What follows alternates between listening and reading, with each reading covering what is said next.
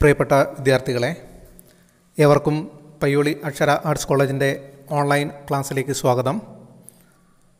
നമ്മളിന്ന് plus two political science അഞ്ചാമത്തെ ചാപ്റ്ററാണ് എടുക്കുന്നത്. കണ്ടംപററി സൗത്ത് ഏഷ്യ സമകാലിക ദക്ഷിണേഷ്യ കണ്ടംപററി സൗത്ത് ഏഷ്യ. ഏതൊക്കെയാണ് ദക്ഷിണേഷ്യൻ രാജ്യങ്ങൾ? നിങ്ങൾക്കറിയാമോ? ഏതൊക്കെയാണ് ദക്ഷിണേഷ്യൻ രാജ്യങ്ങൾ? ഇന്ത്യ പാകിസ്ഥാൻ ബംഗ്ലാദേശ് നേപ്പാൾ ഭൂട്ടാൻ ശ്രീലങ്ക മാലദ്വീപ്സ് അഫ്ഗാനിസ്ഥാൻ. ഇത്രയും രാജ്യങ്ങളാണ് ദക്ഷിണേഷ്യൻ രാജ്യങ്ങൾ എന്നറിയപ്പെടുന്നത്. ഈ അധ്യായത്തിൽ നമ്മൾ വിശകലനം ചെയ്യുന്നത് ഇതിൽ പ്രധാനപ്പെട്ട ദക്ഷിണേഷ്യൻ രാജ്യങ്ങളെക്കുറിച്ചും ആ ദക്ഷിണേഷ്യൻ രാജ്യങ്ങളിലെ ഭരണ വ്യവസ്ഥിതികളെക്കുറിച്ചും ഇന്ത്യയും ദക്ഷിണേഷ്യൻ രാജ്യങ്ങളും തമ്മിലുള്ള ബന്ധത്തെക്കുറിച്ചുമാണ് നമ്മൾ ഈ അധ്യായത്തിൽ പഠിക്കുന്നത്. ഇതിൽ ആദ്യം നമ്മൾ ചർച്ച ചെയ്യുന്നത് പാകിസ്ഥാനെക്കുറിച്ചാണ്. The military and democracy in Pakistan പാകിസ്ഥാനിലെ ജനാധിപത്യവും പട്ടാളവും. നമുക്കറിയാം പാകിസ്ഥാൻ എന്ന രാജ്യം നിലവിൽ വന്നത് എന്നാണെന്ന് നമുക്കെല്ലാവർക്കും അറിയാം. ഇന്ത്യ സ്വതന്ത്രമായ സമയത്ത് ആയിരത്തി തൊള്ളായിരത്തി നാൽപ്പത്തി ഏഴ് ഓഗസ്റ്റ് പതിനാലിന് ആണ് പാകിസ്ഥാനും നിലവിൽ വരുന്നത്. ഇന്ത്യ വിഭജനം അതിനെ തുടർന്നുണ്ടായ പ്രതിസന്ധികളൊക്കെ നമുക്ക് മറ്റൊരു അധ്യായത്തിൽ പഠിക്കാനുണ്ട്. അന്നേരം വിശദമായിട്ട് പറയാം. ഇന്ത്യ വിഭജനം സൃഷ്ടിച്ച പ്രതിസന്ധിയും മറ്റു കാര്യങ്ങളും. പാകിസ്ഥാൻ നിലവിൽ വന്ന സമയത്ത് മുഹമ്മദ് അലി ജിന്നയുടെയും ലിയാഖത്ത് അലി ഖാന്റെയും നേതൃത്വത്തിലുള്ള മുസ്ലിം ലീഗാണ് പാകിസ്ഥാനിലെ ആദ്യ സർക്കാരിന് രൂപം നൽകിയത്. ആയിരത്തി തൊള്ളായിരത്തി അൻപത്തി ആറിൽ പാകിസ്ഥാൻ ഒരു ഭരണഘടന നിലവിൽ വന്നു. ഈ ഭരണഘടനയ്ക്ക് രൂപം നൽകി അധികം കഴിയുന്നതിന് മുമ്പ് തന്നെ ജനറൽ അയൂബ് ഖാൻ അധികാരം പിടിച്ചെടുക്കുന്നു. ജനറൽ അയൂബ് ഖാൻ അധികാരം പിടിച്ചെടുക്കുന്നു. പിന്നീട് ജനകീയ പ്രക്ഷോഭം മൂലം അയൂബ് ഖാന് സ്ഥാനമൊഴിയേണ്ടി വന്നു. അതിനുശേഷം ജനറൽ യാഹ്യ ഖാൻ അധികാരം പിടിച്ചെടുക്കുന്നു. ജനറൽ യാഹ്യ ഖാൻ പാകിസ്ഥാന്റെ ഭരണാധികാരിയായിരുന്ന ഘട്ടത്തിലായിരുന്നു ബംഗ്ലാദേശ് പ്രതിസന്ധി ഉണ്ടാവുന്നത്. എന്താണ് ബംഗ്ലാദേശ് പ്രതിസന്ധി എന്നും ആയിരത്തി തൊള്ളായിരത്തി എഴുപത്തി ഒന്നിലെ ഇന്ത്യ പാക് യുദ്ധത്തെക്കുറിച്ച് നമുക്ക് മറ്റൊരു അധ്യായത്തിൽ പഠിക്കാനുണ്ട്. അന്നേരം വിശദമായിട്ട് പറയാം. മറ്റൊരു ഭാഗത്ത് നമുക്ക് ബംഗ്ലാദേശിന്റെ രൂപീകരണവുമായി ബന്ധപ്പെട്ട് പറയാനുണ്ട്. ആ സമയത്ത് ബംഗ്ലാദേശ് പ്രതിസന്ധിയെക്കുറിച്ച് വിശദമായിട്ട് നമുക്ക് പഠിക്കാം. അപ്പം യാഹ്യാ ഖാൻ ഭരണാധികാരിയായിരുന്ന ഘട്ടത്തിലാണ് ബംഗ്ലാദേശ് പ്രതിസന്ധി ഉണ്ടായത് എന്ന് ഓർത്തു വെക്കുക. അതിനെ തുടർന്ന് ആയിരത്തി തൊള്ളായിരത്തി എഴുപത്തി ഒന്നിൽ യാഹ്യ ഖാൻ രാജിവെച്ചു. പിന്നീട് അവിടെ തെരഞ്ഞെടുപ്പ് നടക്കുകയും അങ്ങനെ ആയിരത്തി തൊള്ളായിരത്തി എഴുപത്തി ഒന്ന് മുതൽ ആയിരത്തി തൊള്ളായിരത്തി എഴുപത്തി ഏഴ് വരെ സുൽഫിക്കർ അലി ബൂട്ടോയുടെ നേതൃത്വത്തിലുള്ള ഗവൺമെന്റ് അധികാരത്തിൽ വരികയും ചെയ്യുന്നു. സുൽഫിക്കർ അലി ബൂട്ടോ എന്നാൽ ആയിരത്തി തൊള്ളായിരത്തി എഴുപത്തി ഏഴിൽ വീണ്ടും സിയാവുൾ ഹക്കിന്റെ നേതൃത്വത്തിൽ അധികാരം പിടിച്ചെടുക്കുന്നു പട്ടാളം അധികാരം പിടിച്ചെടുക്കുന്നു. ആയിരത്തി തൊള്ളായിരത്തി എഴുപത്തി ഏഴിൽ സിയാവുൾ ഹക്ക് അധികാരം പിടിച്ചെടുക്കുന്നു. അതിനെ തുടർന്ന് സുൽഫിക്കർ അലി ബൂട്ടോയെ തൂക്കിക്കൊല്ലുന്നു. പിന്നീട് ആയിരത്തി തൊള്ളായിരത്തി എൺപത്തിരണ്ടിൽ സിയാവുൾ ഹക്ക് ഒരു വിമാനാപകടത്തിൽ മരണപ്പെടുന്നു.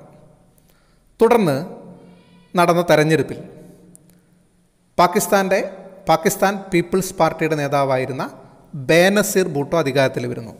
നേരത്തെ അവിടെ ഭരണാധികാരിയായിരുന്ന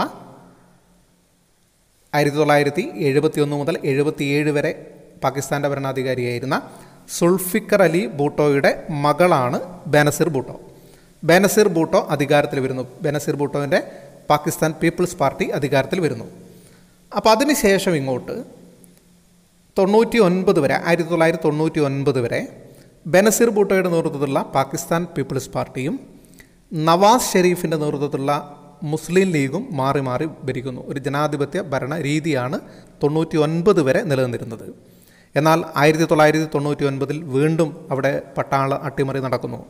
ആയിരത്തി തൊള്ളായിരത്തി തൊണ്ണൂറ്റി ഒൻപതിൽ ജനറൽ പർവേസ് മുഷറഫ് അധികാരം പിടിച്ചെടുക്കുന്നു. തൊണ്ണൂറ്റൊമ്പതിൽ അധികാരം പിടിച്ചെടുത്തതിന് ശേഷം അദ്ദേഹം രണ്ടായിരത്തി ഒന്നിൽ അദ്ദേഹം അവിടെ ഒരു തെരഞ്ഞെടുപ്പ് നടത്തുകയും സ്വന്തം സ്വയം പ്രസിഡന്റായി പ്രഖ്യാപിക്കുകയും ചെയ്യുന്നു. എന്നാൽ അവസാനം രണ്ടായിരത്തി എട്ടിൽ അദ്ദേഹത്തിന് സ്ഥാനമൊഴിയേണ്ട ഒരു സാഹചര്യം വരുന്നു. രണ്ടായിരത്തി എട്ടിൽ പർവേസ് മുഷറഫ് സ്ഥാനമൊഴിയുന്നു. അങ്ങനെ രണ്ടായിരത്തി എട്ടിൽ നടന്ന പൊതു തെരഞ്ഞെടുപ്പിൽ ആ തെരഞ്ഞെടുപ്പിന്റെ പ്രചരണ വേളയിൽ പാകിസ്ഥാൻ പീപ്പിൾസ് പാർട്ടിയുടെ നേതാവായിരുന്ന ബേനസിർ ബൂട്ടോ കൊല്ലപ്പെടുന്നു. അതിനെ തുടർന്ന് അവിടെ തെരഞ്ഞെടുപ്പിൽ ആസിഫ് അലി സർദാരി. അതായത് ബെനസീർ ഭുട്ടോയുടെ ഭർത്താവ് ആസിഫ് അലി സർദാരി അധികാരത്തിൽ വരുന്നു. അല്ലെങ്കിൽ പാകിസ്ഥാൻ പീപ്പിൾസ് പാർട്ടി അധികാരത്തിൽ വരുന്ന സാഹചര്യം ഉണ്ടാവുന്നു. ബെനസീർ ഭുട്ടോയുടെ ഭർത്താവായ ആസിഫ് അലി സർദാരി പാകിസ്ഥാന്റെ ഭരണാധികാരിയാവുന്നു. അപ്പോൾ ഈ രീതിയിൽ ജനാധിപത്യവും പട്ടാള ഭരണവും മാറി മാറി വരുന്നൊരു സാഹചര്യമാണ് നമുക്ക് പാകിസ്ഥാനിൽ കാണാൻ വേണ്ടി സാധിക്കുക.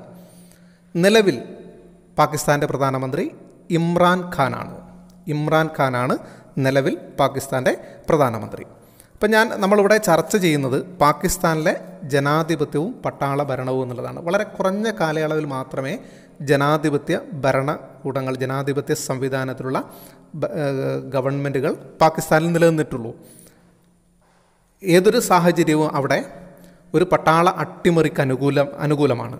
ഏതൊരു സമയത്തും പട്ടാള അട്ടിമറി നടക്കാമെന്നൊരു സാഹചര്യമാണ് അവിടെ ഉള്ളത് എന്തുകൊണ്ടാണ് ഒരു സുസ്ഥിര ജനാധിപത്യ സംവിധാനം പടുത്തുയർത്തുന്നതിൽ പാകിസ്ഥാൻ പരാജയപ്പെടുന്നത്?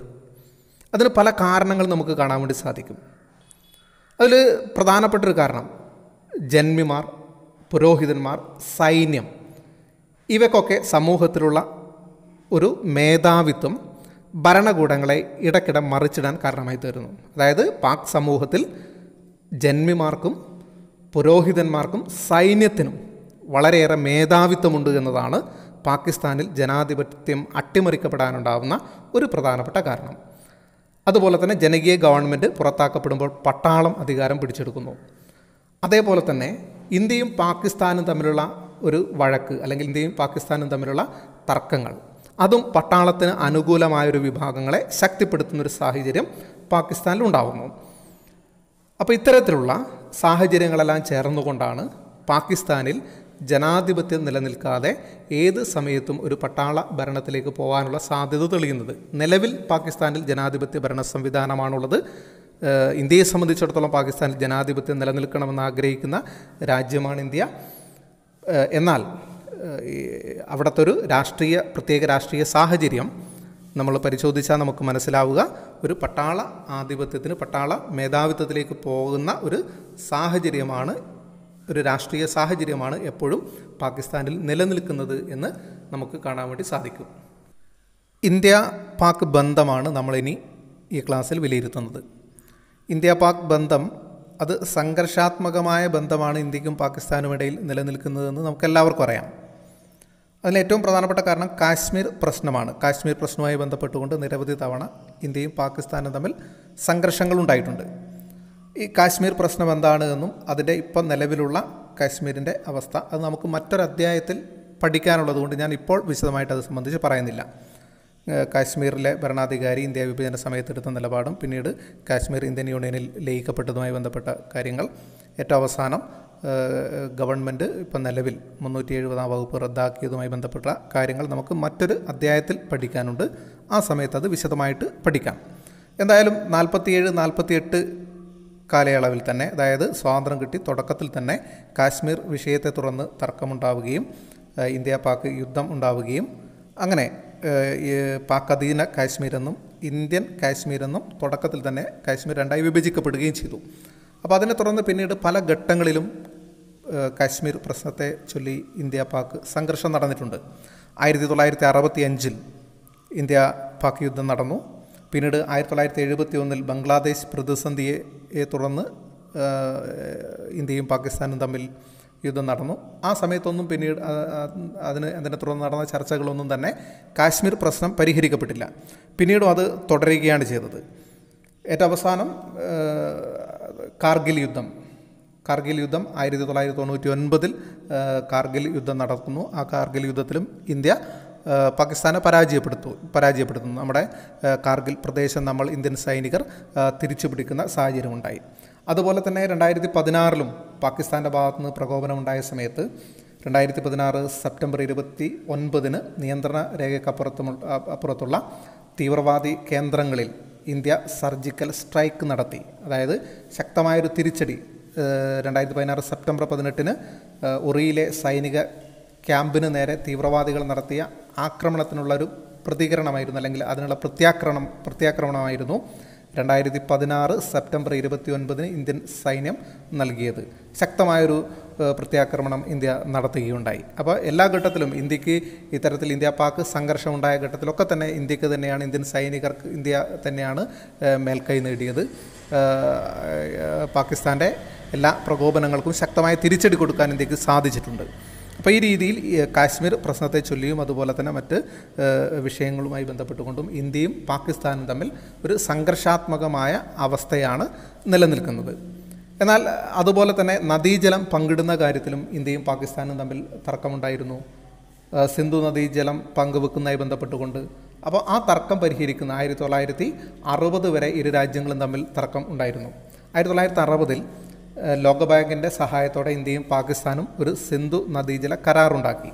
ആ കരാറിന്റെ അടിസ്ഥാനത്തിൽ ആ പ്രശ്നം പരിഹരിക്കപ്പെട്ടു. അപ്പം പിന്നീട് പലതവണ അതിർത്തി പ്രശ്നം അല്ലെങ്കിൽ കാശ്മീർ പ്രശ്നമൊക്കെയായി ബന്ധപ്പെട്ടുകൊണ്ട് നിരവധി തവണ ഇന്ത്യയും പാകിസ്ഥാനും തമ്മിൽ സംഘർഷം ഉണ്ടായിട്ടുണ്ടെങ്കിലും സിന്ധു നദീജല കരാർ അത് അതേപോലെ തന്നെ തുടരുന്നുണ്ട്. ആ വിഷയത്തിൽ മറ്റൊരു പ്രശ്നവും പിന്നീട് ഉണ്ടായിട്ടില്ല. അപ്പോൾ ഇതാണ് ഇന്ത്യയും പാകിസ്ഥാനും തമ്മിൽ ഉള്ള ബന്ധത്തെക്കുറിച്ച് സൂചിപ്പിക്കാനുള്ളത്. ഇന്ത്യയും പാ ഇന്ത്യക്കും പാകിസ്ഥാനും ഇടയിൽ അത്ര നല്ല ബന്ധമല്ല നിലനിൽക്കുന്നത്. തീർച്ചയായിട്ടും ബന്ധം മെച്ചപ്പെടുത്തേണ്ടതിന്റെ അനിവാര്യത അതിന്റെ ആവശ്യകത ഈ മാറി വരുന്ന സാഹചര്യത്തിൽ രണ്ട് രാഷ്ട്ര നേതാക്കന്മാരും അല്ലെങ്കിൽ രണ്ട് രാഷ്ട്രങ്ങളും കൂടിയാലോചനകളിലൂടെ പ്രശ്നം പരിഹരിച്ച് മുന്നോട്ട് പോകേണ്ടത് വളരെ അത്യാവശ്യമാണ്. അപ്പോൾ ഞാൻ ഇന്ന് ക്ലാസ്സിൽ പറഞ്ഞ കാര്യങ്ങൾ പാകിസ്ഥാനെക്കുറിച്ചാണ് ദക്ഷിണേഷ്യൻ രാജ്യം എന്നുള്ള നിലയിൽ പാകിസ്ഥാനിലെ ഭരണത്തെക്കുറിച്ച് അവിടുത്തെ പട്ടാള ഭരണത്തെക്കുറിച്ചും അവിടുത്തെ ജനാധിപത്യത്തെക്കുറിച്ചും അതുപോലെ തന്നെ ഇന്ത്യയും പാകിസ്ഥാനും തമ്മിൽ നിലനിൽക്കുന്ന ബന്ധത്തെക്കുറിച്ചുമാണ് ഇന്നത്തെ ക്ലാസ്സിൽ സൂചിപ്പിച്ചത്. കാര്യങ്ങൾ മനസ്സിലായിട്ടുണ്ടാവുമെന്ന് കരുതുന്നു. എന്തെങ്കിലും അഭിപ്രായങ്ങളോ സംശയങ്ങളോ ഉണ്ടെങ്കിൽ വാട്സാപ്പിലോ കമന്റ് ബോക്സിലോ മെൻഷൻ ചെയ്യുക. താങ്ക്